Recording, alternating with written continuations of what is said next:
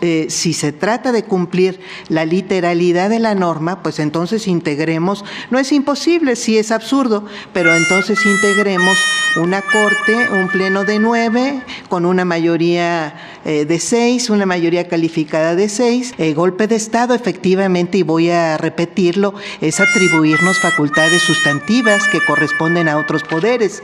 Eh, señalar, en consideración al no obedecimos el 127. Si yo me voy a la literalidad, como está el 127, serían irrenunciables y no podrían ser disminuidos en el empleo de su cargo. Y también es literal, literal. Pero bueno, no... sí, me permite, por Sí, claro, entonces me permite terminar, nada más. Esa es mi apreciación, respeto su apreciación. Siempre ha sido una cuestión de, de criterios que es muy válido en una corte plural. Entonces, usted se inclina porque sea una literalidad tal y como como lo establece la Constitución. No, parece que no me escuchó. Este, no, sí le escuché, a lo mejor no se explicó, pero sí le escuché. Sí, ministra, eh, vuelvo a explicar mi punto. Eh, yo lo que creo es que si ya se resolvió, porque eso no, sé si se vuelva a votar, sería un poco absurdo, porque ya llevamos varias sesiones de sala funcionando y emitiendo resoluciones. En este momento hay un solo ministro, es que es el ministro Aguilar. Habemos 10 ministros que tendríamos literalmente, o conforme a una interpretación literal de la Constitución, que estar percibiendo una remuneración conforme eh, constitucional que dice textualmente que corresponde o debería corresponder a la remuneración de la persona titular de la presidencia de la República. No es efectivamente esa discusión en este momento la que estamos haciendo, pero sí corresponde a la interpretación y a la eh, reiteración del contenido literal de la Constitución que nosotros no deberíamos sobrepasar y estamos sobrepasando en ese punto como en otros varios y por eso es que queda la interpretación literal, que insisto, en este caso se trata de un vacío que estamos obligados a llenar. Este precepto transitorio no prohíbe la interpretación. Empieza diciendo, para la interpretación y aplicación de este decreto, lo que quiere decir que el decreto, por supuesto que se puede interpretar, no es simplemente aplicar la literalidad, porque entonces ¿para qué queremos tribunal constitucional? La ministra Lenia dijo que era absurdo y eso sí voy a pedir que no se utilice ese tipo de adjetivos en este pleno, eh, que los que hubieran votado eh, porque siguieran existiendo las salas, ahora sostendrían que, eran, que fueran seis votos. En pocas palabras comento que, usted que si ya habíamos, no, que si ya habíamos decidido lo de las salas, eso nos llevaba a una interpretación de que tendríamos que seguir como pleno funcionando 11 ministros con 8 votos. ¿Que tenemos que funcionar con 6 votos? Con 6, sí. Un espacio para reflexionar sobre este tema. Además, dada la el, ¿Lo haríamos el lunes? Sí. Este, Yo nada más por alusiones, si quisiera, quisiera eh, comentar porque me parece que es importante que eh, no sé bajo qué regla usted no me pueda reconvenir a no utilizar la palabra absurdo. Eh, me parece que es inadecuado y sí tendríamos que ponernos de acuerdo muy bien en cuáles son los límites de la libertad de expresión argumentativa que tenemos las y los ministros. Entiendo yo que un límite obvio es no faltarnos al respeto eh, personalmente, pero creo que no existe eh, forma de eh, contenernos que usted nos contenga respecto de las palabras que utilicemos, respecto de nuestra argumentación. Yo insistiría en que me parecería absurdo, lo sostengo, lo reitero, que una parte sí adoptemos un método interpretativo y en otra parte no, cuando se trata de la misma reforma constitucional. Y efectivamente una función obvia de este Tribunal Constitucional, pues es interpretar de lo que dice la Constitución, pues entonces estamos vulnerando el Estado de Derecho completo eh, y por eso es que me, me he atrevido, pues sí, a usar eh, digamos, eh, que conceptos fuertes como el de golpe de Estado, eh, pero yo no veo ningún tipo de normativa que nos pueda o que, o que pueda aplicar la presidencia de esta Corte para impedir que podamos eh, ponerle palabras así de fuertes a lo que pueda estar haciendo este cuerpo eh, colectivo, este, este cuerpo colegiado, que tiene una misión importantísima, que es resguardar la Constitución e interpretar bajo el límite de esa Constitución. Entonces yo insistiría, eh, ministra, pues usted está interpretándome a mí, yo la, lo único que voy a insistir es que seamos congruentes, que no seamos incongruentes, en consecuencia, que eh, resolvamos lógicamente, no absurdamente, en consecuencia. Muchas gracias. Gracias. La facultad que tengo para comentar o hacer un comentario es la misma que tiene usted para expresarse en ese pleno. Yo como rectora de la discusión, sí, y si así lo considero por, por los integrantes, a mí en lo personal no me afecta, pero por los mismos integrantes de llevar una sesión eh, sin ofendernos o, sin... No hay ofensas, ¿Me permite, por favor? O sin expresar calificativos. Claro, si usted considera que es libertad de expresión hacerlo, eh, no hay ningún problema. ¿eh? O sea, usted puede seguirse expresando como quiera. Respetuosamente siempre, ministro. Eh, Deja esta hija de su madre ya, por lo que más quieras, vende. No siempre ha sido así, por eso en este momento llame la atención. Pero este, si les pediría a los que se sientan ofendidos que lo digan. El calificar de absurdo o de otro tipo de calificativo lo que presentamos o lo que decimos no es solo calificar lo que decimos, es calificar a la persona que lo dice.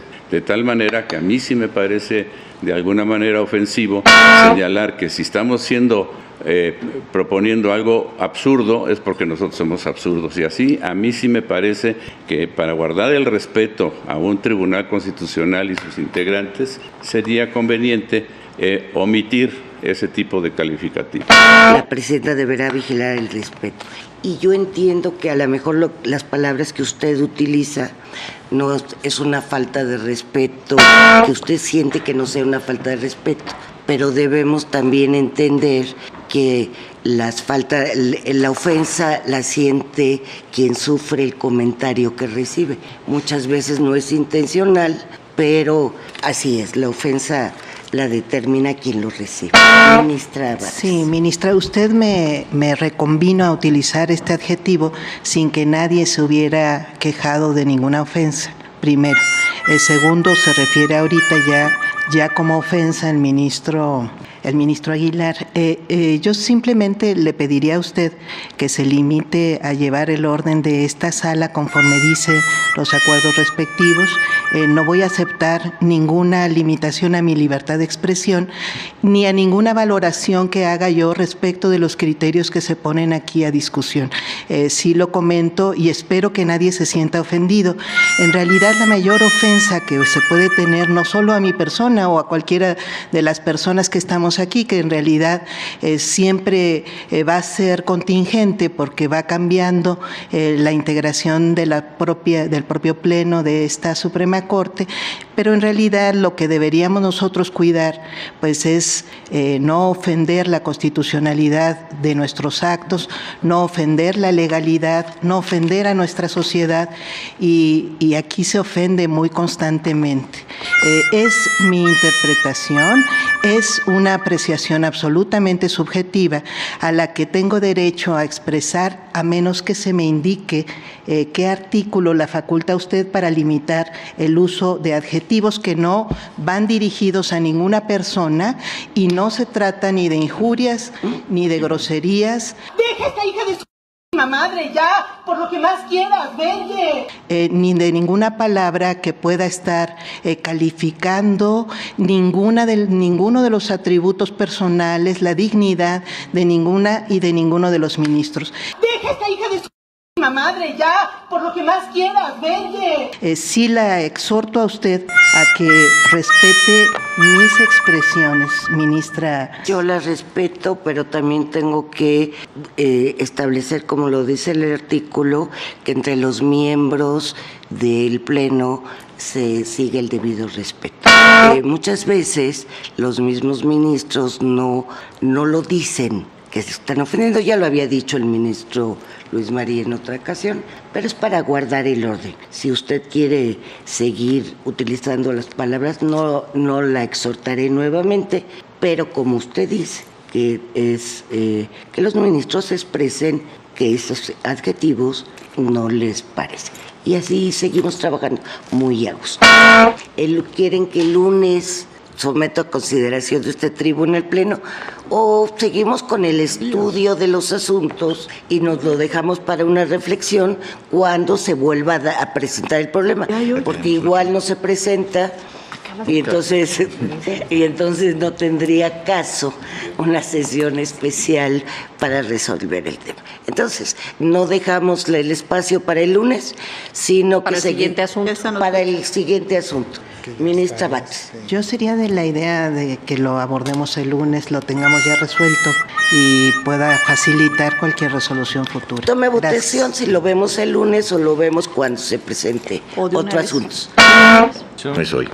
Señora Presidenta En los mismos términos. Señora Presidenta, me permito informarle que existe mayoría de siete votos en relación con analizar el problema planteado cuando se presente algún asunto concreto. Gracias, porque nuestra función es impartir justicia. Entonces, este, ya quedaría decidido eh, la invalidez por ocho votos. Se lo agradezco, ministro Pérez Dayán.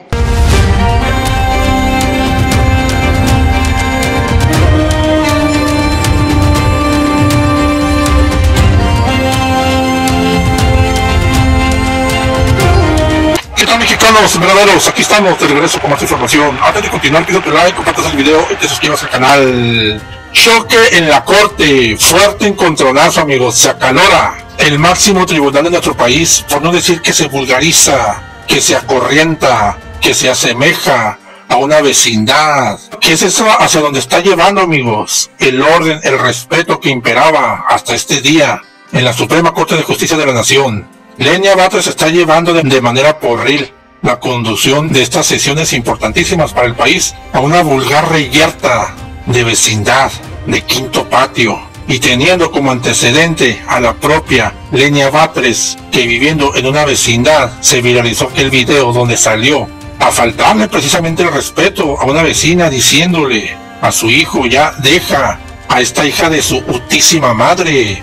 Y ahora sale aquí amigos a exigir respeto a pedir que no se le censure, que no se le reconvenga en sus expresiones. Claro que se le tiene que reconvenir, por eso hay una presidenta de la Corte que se encarga de que haya orden y respeto.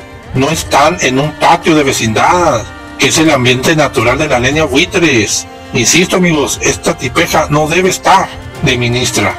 Puede que sea de diputada, incluso senadora, pero como ministra, no amigos, no da la talla, no da el ancho. Y lo peor es que todos los ministros a partir de 2025 van a ser como esta línea buitres. A partir de 2025, amigos, porque es un hecho que se va a aplicar la reforma judicial. La Corte nada más está velando por la autonomía del Poder Judicial, lo poquito que puedan rasguñar, que fue lo que tentativamente negociaron en esta reunión de Norma Piña con Ana Augusto y Noroñas en el Senado, donde la Corte va a seguir conservando su autonomía, pero Morena va a ser quien ponga los ministros. Es decir, en dado caso, los ministros podrían rebelarse de a la 4T sin que sean llevados a juicio político. Es algo muy pequeño, casi nada, pero algo es algo. Y pues ya Leña Batres, sintiéndose totalmente empoderada, se da el lujo de ponérsele de tú a tú a Norma Piña, que es la presidenta de la Corte, y sí, faltó el respeto, Leña Batres. Al calificar de absurdos los resolutivos de los ministros, claro que es una falta de respeto.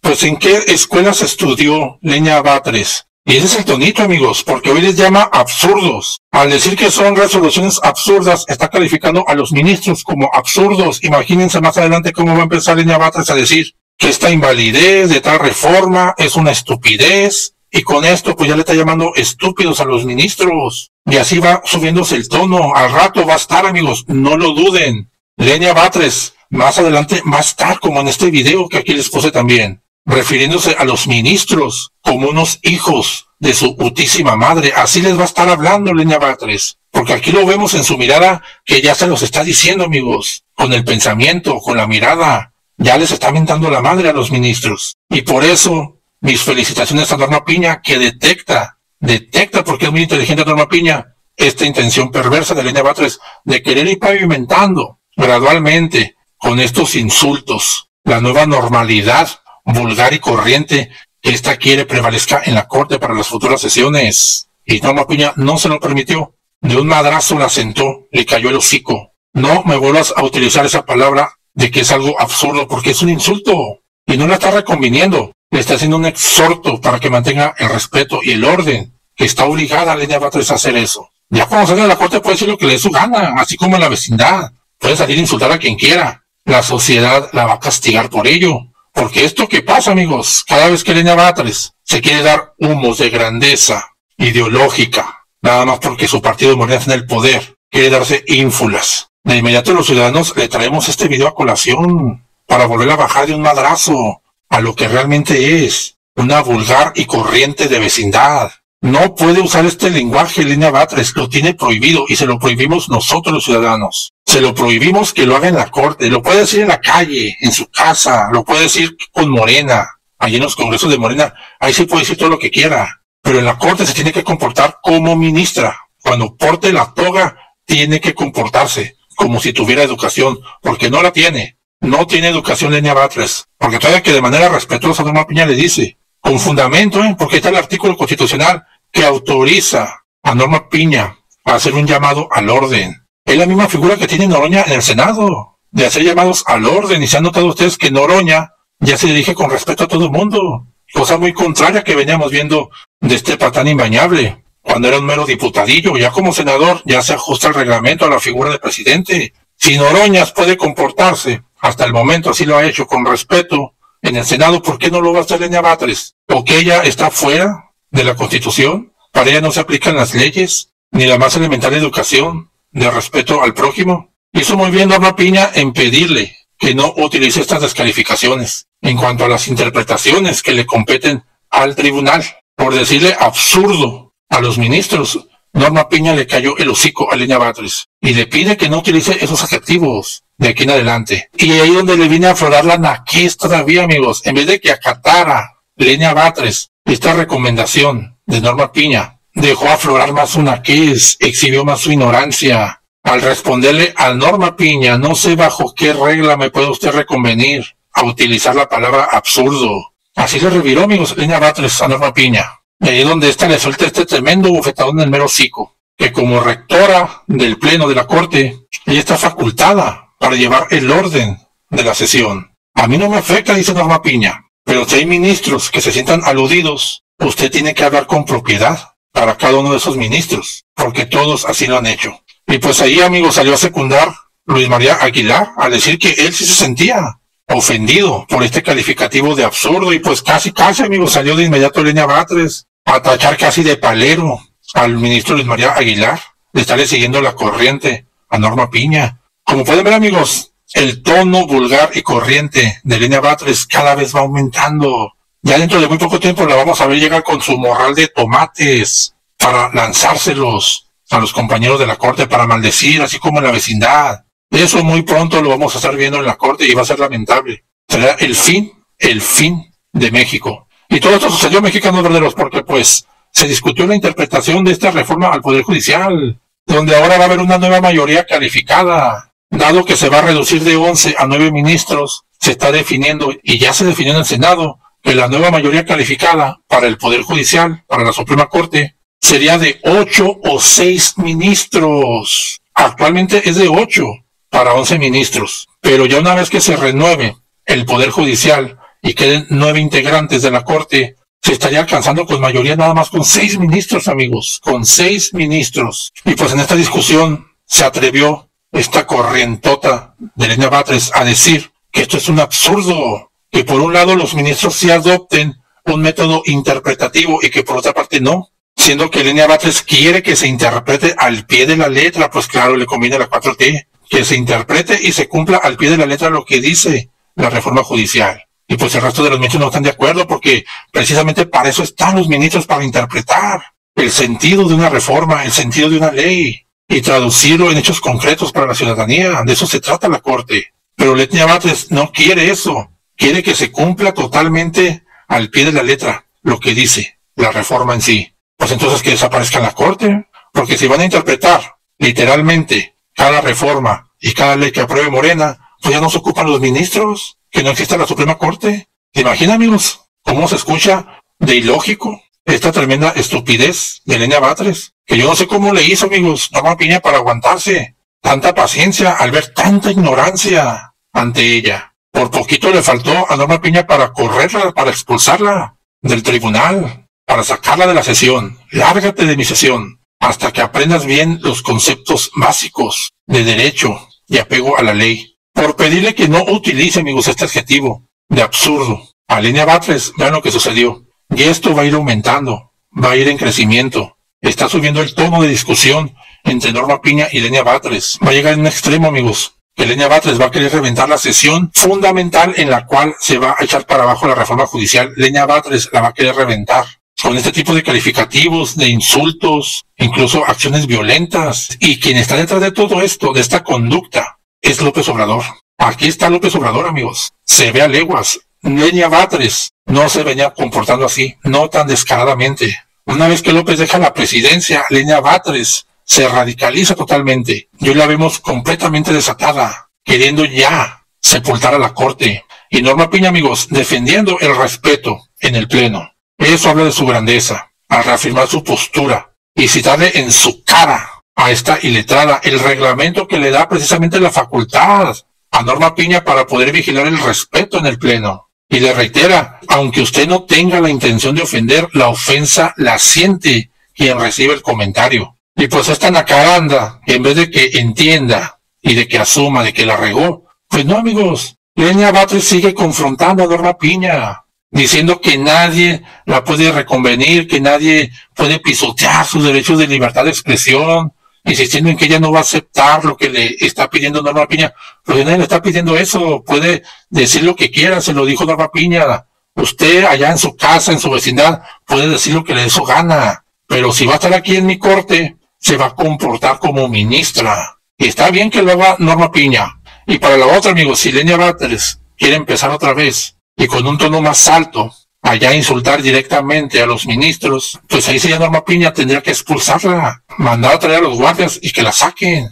Junto con Yasmín Esquivel, porque ella también es una plagiadora, ella no es ministra, no tiene título. Que ya se les olvidó eso, amigos. Quedó pendiente la respuesta oficial de la UNAM que le iban a anunciar como un muy platillo, si no, ahí después de la elección, de manera tímida, en la última página de los diarios, salió a decir la UNAM que ellos no están facultados para decidir si la tesis de Yasmín Esquivel era plagiada. Y ahí quedó eso, amigos. No se resolvió. Y tenemos una ministra plagiada y una ministra soquete y letrada. Y esto es el comienzo, ¿eh? porque todos los nueve ministros van a estar cortados del mismo tronco.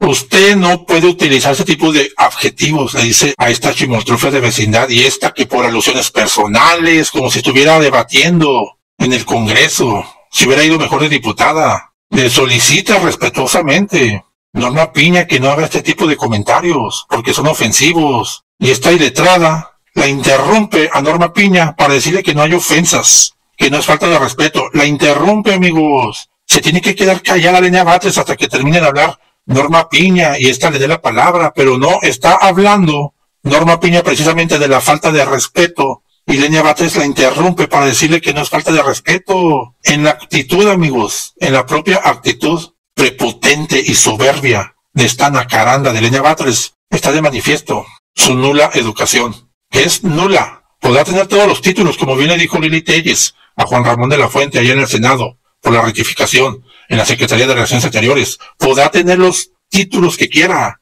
pero no le sirven, porque no sabe aplicar los conceptos que aprendió a lo largo de su vida. Y pues ya finalmente, amigos, vean, la chimotrufia de vecindad. Una vez que salió con la cola entre las patas de la corte, allá fue a refugiarse al Twitter. Y ahí siguió la pelea, ahí siguió la discusión, ya con cinismo, diciendo, sí, tenemos que ser respetuosos entre los ministros. Pero que cuando la corte no pueda resolver, escúchenlo bien, cuando la Corte no pueda resolver. Pero ¿por qué no había de poder resolver? Si siempre hay una mayoría calificada, la Corte siempre va a poder resolver. Pero esta ya habla de que cuando no se puede resolver algo, ahí sí que hay que usar palabras muy claras. Ahí sí hay que decir groserías. Así lo está dando a entender.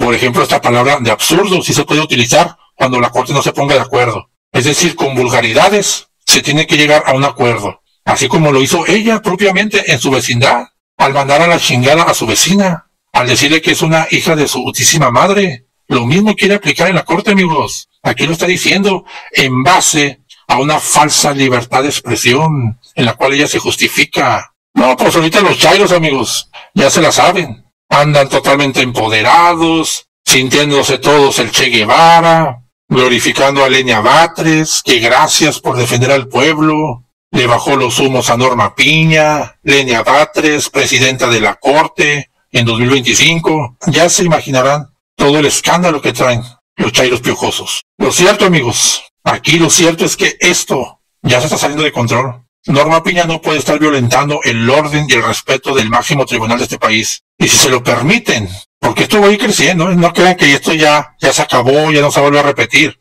Ustedes han visto que hemos seguido aquí un proceso particularmente a la Corte. Ya no seguimos las mañaneras, no seguimos a Morena, no seguimos a Xochitl, ni al PRI al PAN, pero hemos estado siguiendo aquí nosotros todo este proceso que ha venido encaminando la Corte en torno a la reforma judicial y hemos atestiguado aquí en esta comunidad como Línea Batres ha ido creciendo paulatinamente estos ataques hacia los ministros. Y ahora ya empieza a utilizar palabras vulgares, insultos. ¿En qué va a terminar esto, amigos? Insisto, es una porra. Esta tipeja va a querer violentar la Corte porque sabe que esta va a terminar invalidando o anulando o dejando inservible la reforma judicial. Norma Piña tiene todos los elementos y toda la inteligencia para lograr eso, y sobre todo tiene los votos. Por eso yo les decía atinadamente, amigos, falta el voto de Norma Piña. Cuando ustedes estaban con las caras caídas en el Senado, cuando se aprobó la reforma, yo les dije, falta el voto de Norma Piña, y no me equivoqué. Vean cómo trae un desmadre Leña Batres, y Noroñas, y Claudia,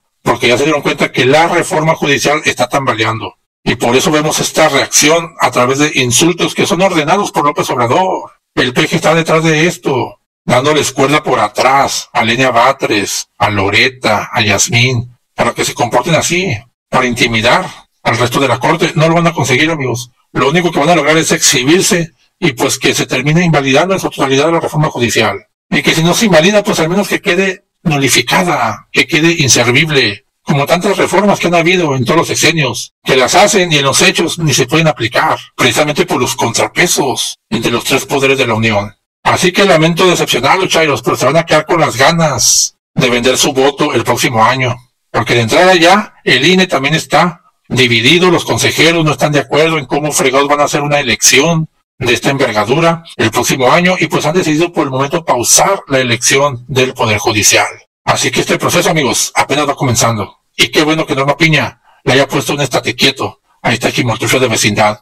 Es cuanto mexicanos verdaderos. La paz es primero. Hasta pronto.